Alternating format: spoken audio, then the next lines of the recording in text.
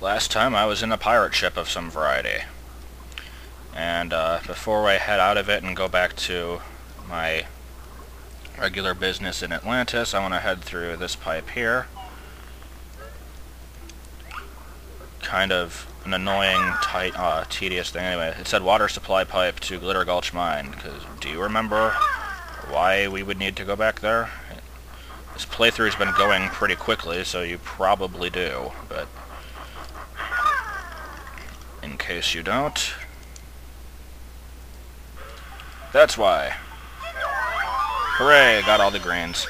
I think the first time I ever played the, this game, uh, the greens were the first, or, or the last family that I reunited.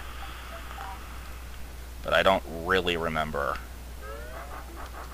Anyway, now we gotta go through it again. Hooray! Uh, we did get a controller, or like a USB controller in the mail. I don't know when. I want to say today, but like it wasn't really today because it was probably sitting in the mailbox for days without us noticing because nobody ever checks the mail. But uh, I'm half tempted to use that because the swimming controls in this are so cruddy, but uh, I was using it before, and I don't like it very much. It, I'm gonna I'm gonna end up having to use it for Ape Escape whenever I do that game, but um, this my finger slips off the stick all the time, and I just don't like controllers that much. I'm better with the keyboard. Anyway, here's the warp pad for no real reason. There's not any time you would want to come back here that I am aware of. And we got another octopus. No surprise there. I'm not sure why I'm going back this way. I could just take the warp that I just activated. Or die. That works too. Come on, hit... There we go.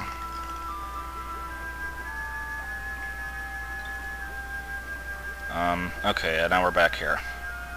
Let's see, what buildings have we not gone in yet? This one. Ah.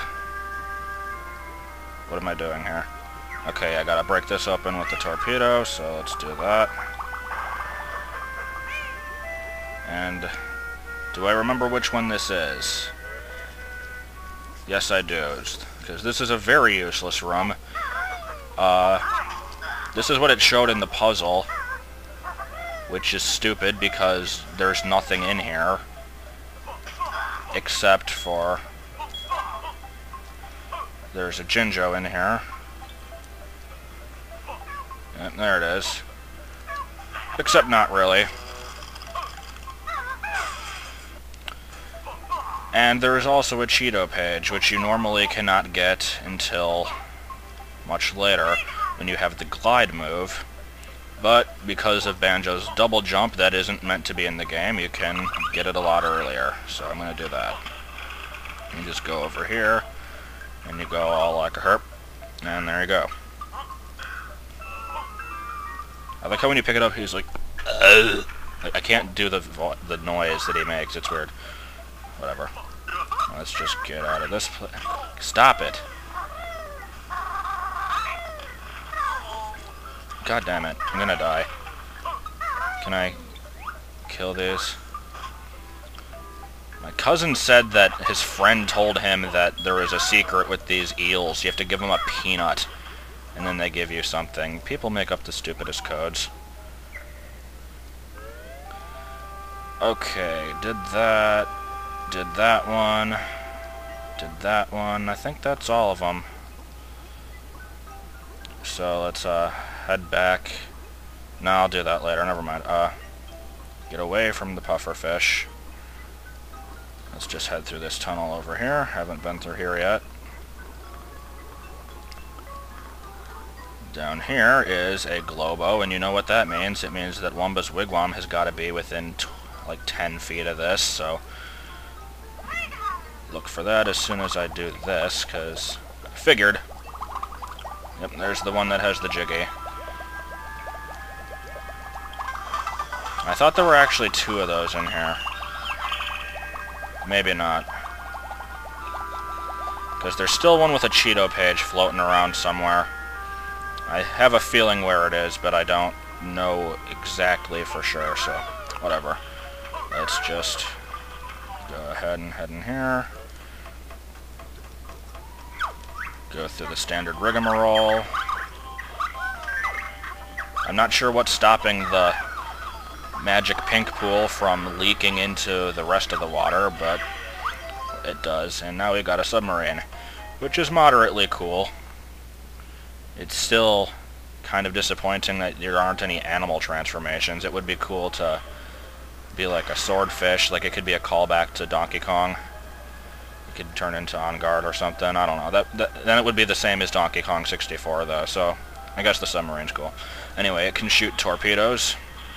It's got an unlimited supply of them, just like the Blue Marine from uh, Star Fox, and it also has a Sonic Ping move, which you will never use ever. Yeah, obviously, it won't let you warp outside. Anyway, here in the Locker's Cavern, um... Yeah, there... Ah! That noise is really loud. I could fight the boss as the submarine, and people actually usually do that because it's a bit easier. But since this is sort of a challenge run, I'm not going to do that. I'm looking at these lockers to see if uh, I recognize some of these names. I don't so far. I know some of the rare people, but whatever. Yeah, I don't know. I figured Grant Kirkhope would be in here. Um, David Wise. What's who's the composer? I said his name in the description yesterday. Is it David Wise? Something Wise. Anyway, here we got the standard uh, shooting minigame. It's very easy.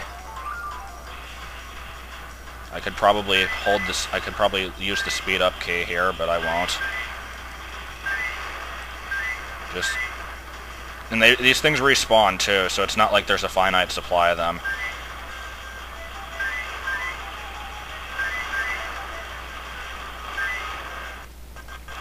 My teacher in like something fourth grade, I think, had like this mnemonic device for remembering how to pronounce a certain word, and they she said like just think of it as like how you would pronounce finite because you wouldn't pronounce that wrong, and I'm thinking to myself, actually, yes, I would, because until you said that word, I always thought that it was pronounced finite, because it's like infinite, but it's not.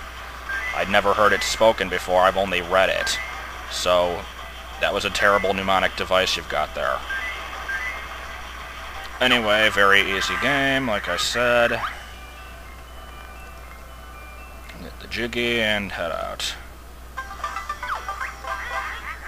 No, I don't. It wasn't that interesting the first time. You can't go in there as Banjo-Kazooie because it says that the... Wait, what the... There's two of them in here. Oh, never mind, I knew that. One of them had the honeycomb piece, right? I don't know. Anyway, let's warp out of here. Uh, there is a trick, actually. You can take the submarine out onto dry land if you get past the octopus with it, because it lets you go up, like, the ramp it's... I'd show it if it wasn't a huge waste of time. I might show it at the start of the next segment.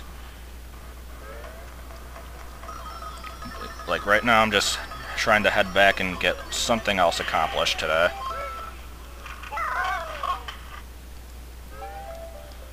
So, uh, speed up again.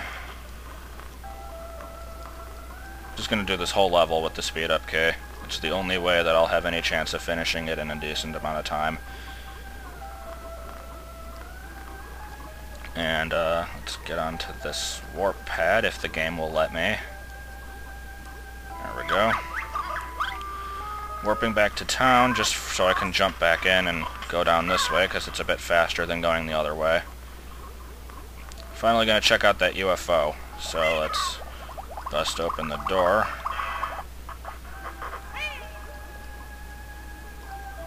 Head on in. If the game will let me. Again, it's being kind of a douche about that. Where am I? Oh, I'm in the door. Come on, that, you couldn't let me have that? So, in here, we've got some aliens.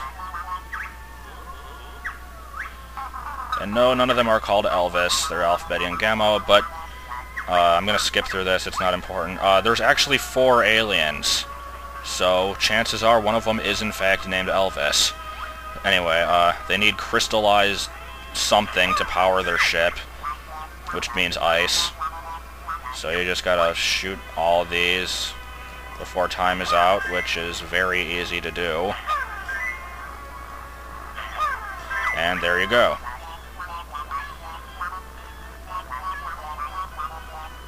Yeah, yeah, yeah. Too bad the aliens don't have too much to do, but they will show up again later.